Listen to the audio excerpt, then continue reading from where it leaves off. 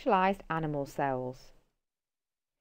The red blood cell's function is to carry oxygen. It is packed full of haemoglobin, which is able to bind to oxygen to enable the cell to carry out this role. The cell has a biconcave shape, which means it is indented on both sides to increase the surface area for oxygen to enter. Red blood cells do not have a nucleus or other components like mitochondria. This creates more space for haemoglobin.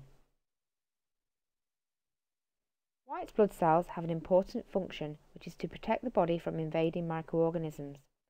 White blood cells have a large nucleus to control the cell and a flexible membrane which enables them to engulf or swallow up the invaders. Motor neurons are nerve cells which carry messages towards the muscles.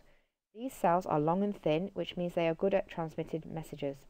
They have multiple connections with other nerve cells, which lets nerve cells communicate with each other.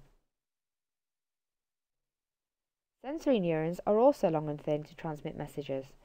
Sensory neurons connect receptors which pick up signals to send towards the brain and spinal cord. Egg cells are found in a woman's ovaries. Their function is to enable sexual reproduction. They have a large surface area to increase the chance of a sperm fusing with the egg cell. Their nucleus contains half the number of chromosomes of a standard body cell. Sperm cells are also essential for sexual reproduction. Their nuclei also contain half the number of chromosomes. This means the, the full number of chromosomes is restored when fertilization takes place.